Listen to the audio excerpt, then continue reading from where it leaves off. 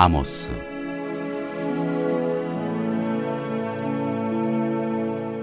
일장. 유다 왕 우시아의 시대 곧 이스라엘 왕 요아스의 아들 여로보암의 시대 지진전 2년에 드고와 목자 중 아모스가 이스라엘에 대하여 이상으로 받은 말씀이라. 그가 이르되 여호와께서 시온에서부터 부르짖으시며 예루살렘에서부터 소리를 내시리니 목자의 처장이 마르고 갈멜산 꼭대기가 마르리로다. 여호와께서 이와 같이 말씀하시되 다메섹의 서너 가지 죄로 말미암아 내가 그 벌을 돌이키지 아니하리니 이는 그들이 철타작기로 타작하듯 길랏을 압박하였습니다. 내가 하사엘의 집에 불을 보내리니 베나다사의 궁궐들을 사르리라. 내가 다메섹의 빗장을 꺾으 며 아웬 골짜기에서 그 주민들을 끊으며 베데덴에서 규 잡은 자를 끊으리니 아람 백성이 사로잡혀 기르에 이르리라. 여호와께서 말씀하셨느니라. 여호와께서 이와 같이 말씀하시되 가사의 서너 가지 죄로 말미암아 내가 그 벌을 돌이키지 아니하리니 이는 그들이 모든 사로잡은 자를 끌어 에돔에 넘겼습니다. 내가 가사성 에 불을 보내리니 그 궁궐들을 사르리라. 내가 또 아스토스에서 그 주민들과 아스글론에서 규를 잡은 자를 끊고 또 손을 돌이켜 에그론을 치리니 블레셋에 남아 있는 자가 멸망하리라. 주 여호와께서 말씀하셨느니라. 여호와께서 이와 같이 말씀하시되 두루의 서너 가지 죄로 말미암아 내가 그 벌을 돌이키지 아니하리니 이는 그들이 그 형제의 계약을 기억하지 아니하고 모든 사로잡은 자를 에돔에 넘겼습니다 내가 두루 성에 불을 보내리니 그 궁궐들을 사르리라 여호와께서 이와 같이 말씀하시되 에돔의 서너 가지 죄로 말미암아 내가 그 벌을 돌이키지 아니하리니 이는 그가 칼로 그의 형제를 쫓아가며 긍휼을 버리며 항상 맹렬히 화를 내며 분을 끝없이 품었습니다. 내가 대만에 불을 보내리니 보스라의 궁궐들을 사르리라. 여호와께서 이와 같이 말씀하시되 암몬 자손의 서너 가지 죄로 말미암아 내가 그 벌을 돌이키지 아니하리니 이는 그들이 자기 지경을 넓히고자 하여 길라스의 아이벤 여인의 배를 갈랐음이니라. 내가 라빠성의 불을 놓아 그 궁궐들을 사르되 전쟁의 날의 외침과 회오리 바람의 날에 폭풍으로 할 것이며 그들의 왕은 그 지도자들과 함께 사로잡혀 가리라. 여호와께서 말씀하셨느니라.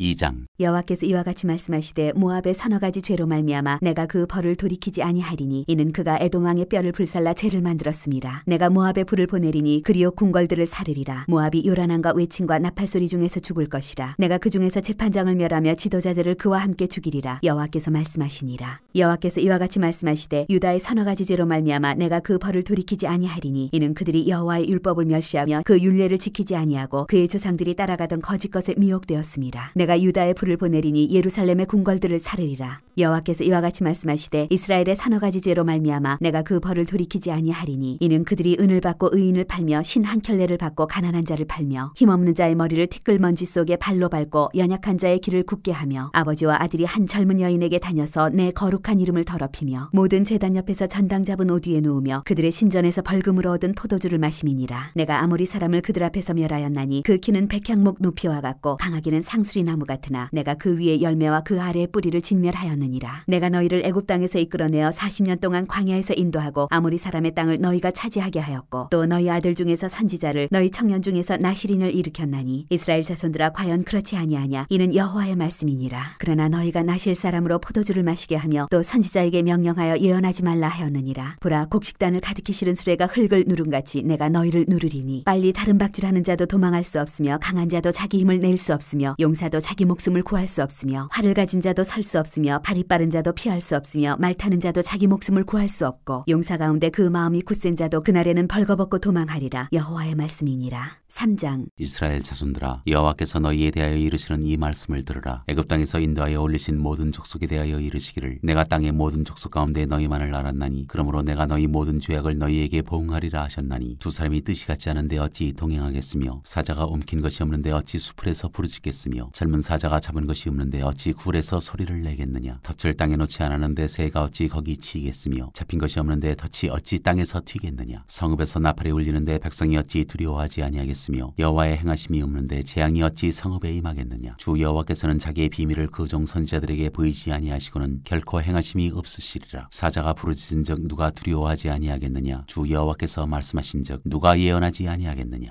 아스토스의 궁궐들과 애굽 땅의 궁궐들에 선포하여 이르기를 너희는 사마리아 산들에 모여 그 성중에서 얼마나 큰 요란함과 학대함이 있나 보라 하라. 자기 궁궐에서 포악과 겁탈을 쌓는 자들이 바른 일 행할 줄을 모르느니라. 여호와의 말씀이니라. 그러므로 주 여호와께서 이와 같이 말씀하시되 이 땅 사면에 대적이 있어 이 힘을 쇠하게 하며 네 궁궐을 약탈하리라. 여호와께서 이와 같이 말씀하시되 목자가 사자 입에서 양의 두 다리나 귀 조각을 건져냄과 같이 사마리아에서 침상 모서리나 걸상의 방석에 앉은 이스라엘 자손도 건져냄을 입으리라. 주 여호와 만군의 하나님의 말씀이니라. 너희는 듣고 야곱의 족속에게 증언하라. 내가 이스라엘의 모든 죄를 보응하는 날에 베델의 지단들을 벌하여 그 지단의 뿔들을 꺾어 땅에 떨어뜨리고 겨울궁과 여름궁을 치리니 상하궁들이 파괴되며 큰 궁들이 무너지리라. 여호와의 말씀이니라